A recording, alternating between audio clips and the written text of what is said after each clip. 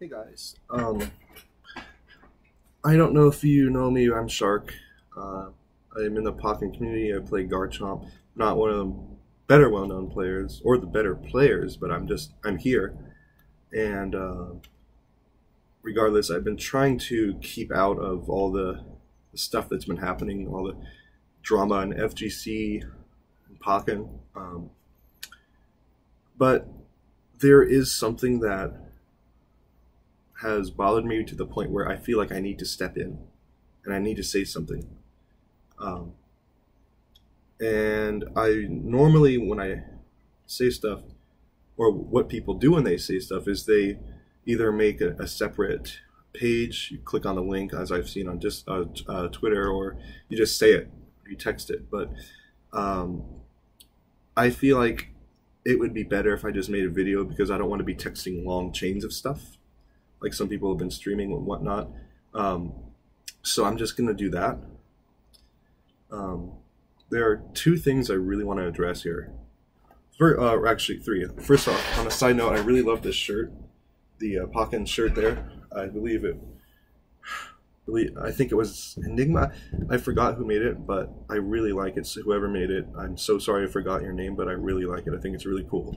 Um, anyway, I do I do need to get back to the stuff that's actually really on my mind here, because um, in my opinion, there has been some misjudgment in um, this community, uh, and that would be on Jolts because Jolts to me is very good person. And when I say good, he's not good. He's an amazing person. He's sensitive. He's passionate. He's caring. He's devoted to us.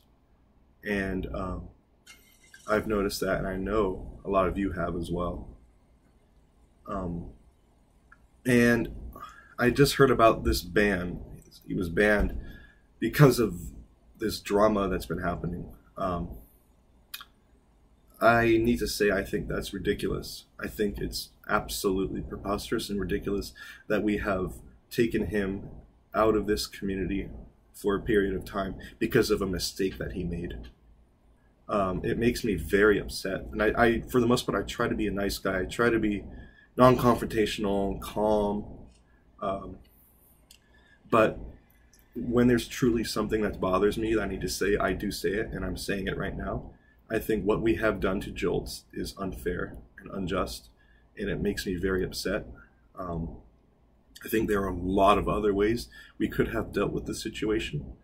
And on his end, I feel like he really took accountability and um, and I feel like he owned up to it.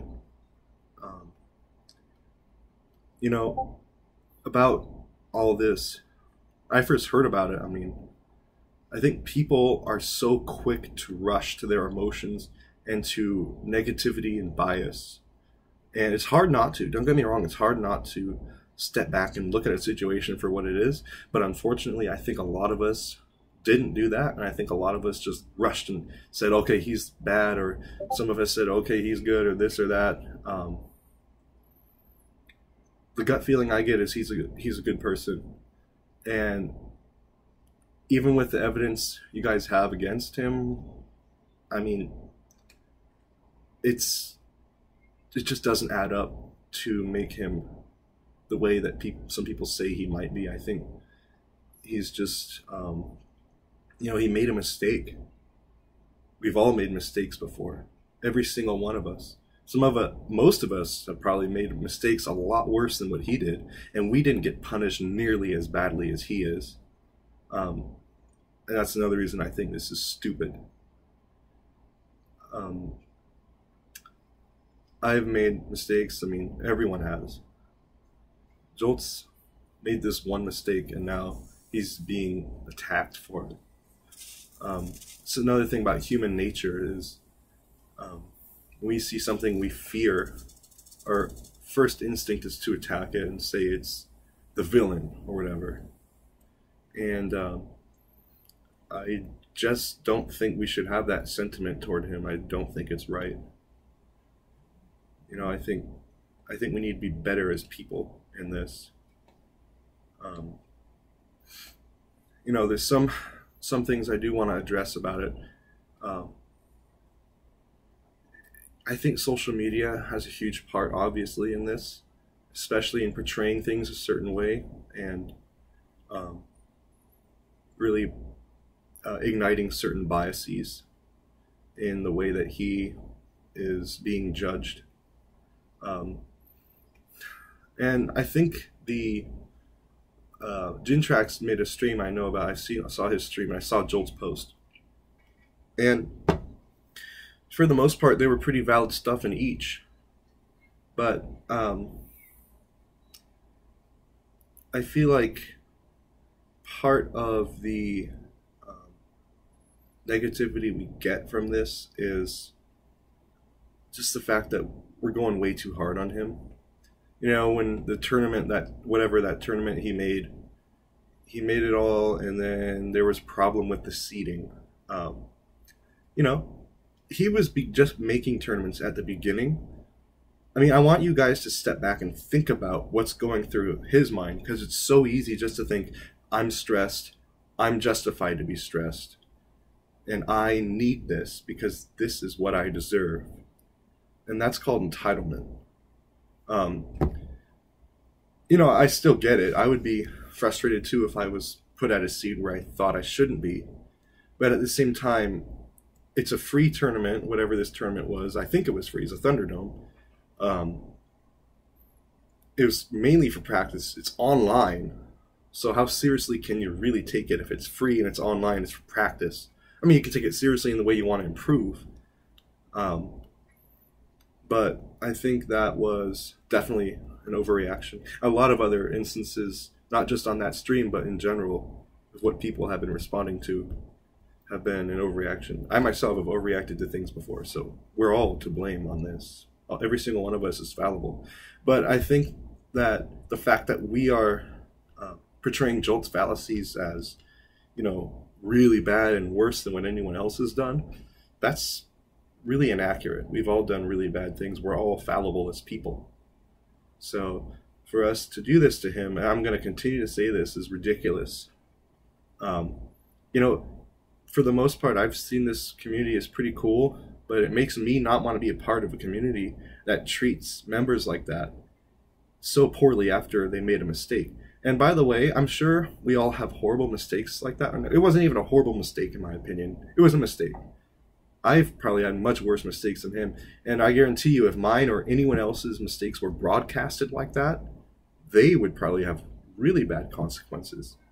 So I don't think it's fair that his happened to be publicly posted and now he's getting all the these offensive these offenses because if that's happening to him i think we should all be responsible for what we've done. We should all have light shown on our mistakes so that it can be equalized because we're trying to be you know we're, we're trying to gain power in the situation by putting someone else down because oh what are we so perfect? Or is everyone else so perfect that they haven't done that? No of course not. So um, that is one thing i did want to say i think we really need to look back and uh, apologize to jolts actually for what we did to him because that negative energy is becoming a snowball and a cascading effect. That's not good. That's not good, guys. Um, another thing I said, one more thing I think it was, um, in terms of a safe committee, I think it was. I think that's great. I mean, I think it's good to have a safe space for people. Um, but, you know, this, the general trend or feelings I've got from this community is you have to censor yourself a little bit or refrain from saying things that could be offensive. And I'm going to say offensive because people get offended by literally everything today. And there's definitely a difference between um, getting truly offended and insulted or threatened and announcing that this, whatever, this statement or whatever should be censored because I feel uncomfortable or it makes me feel uncomfortable. If it makes something makes you feel uncomfortable, you should look into yourself and understand why it makes you feel uncomfortable instead of forcing others to not say something or do something, you know? That's a reflection on you, not on the community. I think we all need to grow up a little bit and stop being kids and um, look back into ourselves and see, okay, what bothers me, what doesn't bother me. And after we do that, then we can work on ourselves, then return to the community. And when someone says something we used to feel uncomfortable about, then we'll be like, oh, that's just this, or oh, that's that. Um, and I'm not trying to say we should be insensitive to cultural or racial or sexual or anything that um, might pertain to that. I'm not talking about insensitivity. I'm talking about um, just being mature and uh, not being so phased by little things. You know, it's so easy. Like I've seen pe- some people just don't seem like they've grown up in fighting game communities. Like they should get things. They things should be catered to them or done their way because otherwise they would feel uncomfortable. And I think in a fighting game, you have to constantly adapt and improve. And why not do that as people too? Why not adapt and improve and something that used to bother you or hurt you now it doesn't hurt you because we can dodge it or whatever. That's kind of silly but it i mean it, it's the truth.